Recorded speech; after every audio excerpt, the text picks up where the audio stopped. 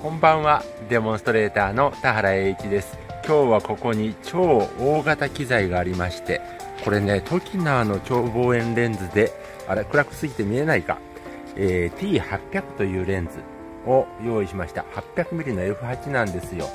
真っ暗でよくわからないかもしれませんけども。これでですね月を撮ろうと思ってあと何日か後に、えー、だから今日は11月6日だから2日後に皆既月食ということで月を見るということになるそうなんですが私その当日はもしかしたらイベントで撮れないかもなということでまあ撮れないんですけども先にこの 800mm で大きく月を撮るというのを試してみようと思ってこれ今日はチャレンジしようということですね。先ほどの映像ではよくわからなかったかもしれませんので改めてこれがトキナーの T800 ということで 800mm の F8 なんですよ。すごい長い鏡頭でもうこの鏡頭の長さ自体が 800mm ぐらい長さがありそう 80cm ぐらいありそうというものですね。マウント部分は T マウント方式ということで、今ニコン F マウントがついてたんですけども、そこに、まあ、ニコン F からソニーのアダプターをつけて、今日は ZV-E10 APS-C フォーマットのカメラで撮ろうと考えています。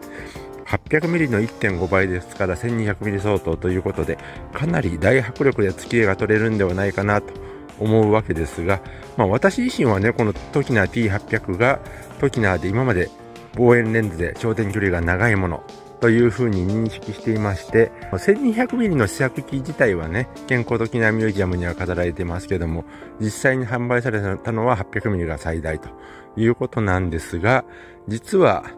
先日発表されて、もうすぐ幕開きで発売されるという 900mm というのがありますね。APS-C フォーマット用の 900mm ミラーレンズ。あれを使うと月がより大きく撮れるんではないかなと思うわけで、まあ今日は 800mm でチャレンジというところでやっていこうと思います。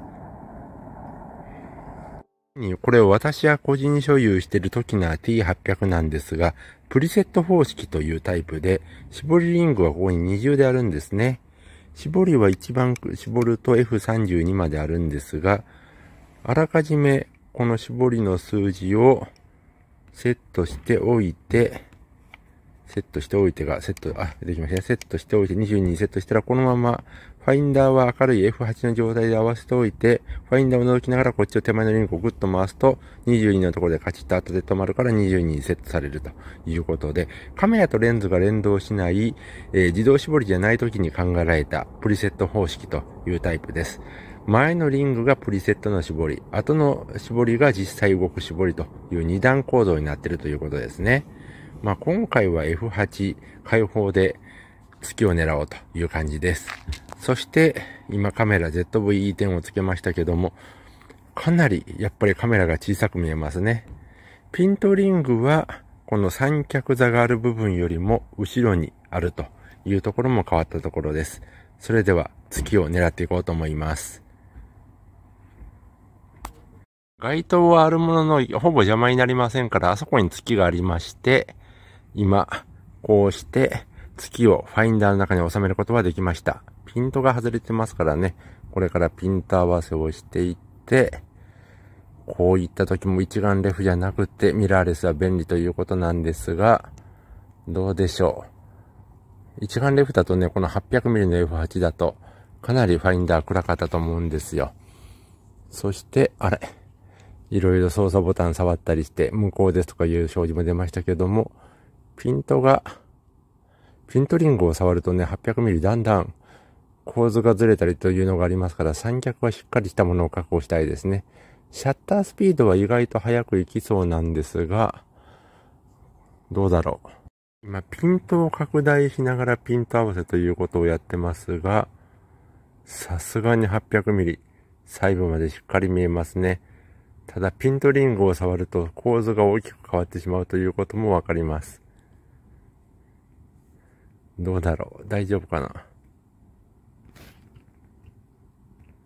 設定ができました。1000分の1秒で感度が400ですね。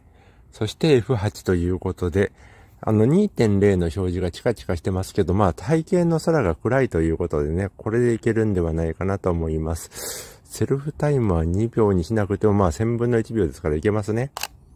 はい、こんな感じで撮れましたね。まあ、さすがにね、これで拡大していくと、はい。さすがの映りということで、トキナーの T800 というね、あの昔のレンズを使って撮影したわけですけども、こんなに月が大きく撮れました。まあ今日よりも、これ、回帰になると光の明るさがかなり暗くなりますから、この、まあ感度を上げればね、シャッタースピード稼げる可能性はありますけども、当日はやっぱり三脚を据えて、必要があれば追尾、追尾かなというふうにも思いますけども、こういった具合で撮影ができます。まあぜひですね、超望遠レンズ、まあ、この時にあの T800 を手に入れるのはなかなか難しいですから、今現実的な話だと、時のあの、あの、時のあの、レフレックスですね、えー、SZX400mm F8、えー、レフレックスというのがありますから、あれに2倍のコンバーター付きで 800mm というのが現実的なところかもしれません。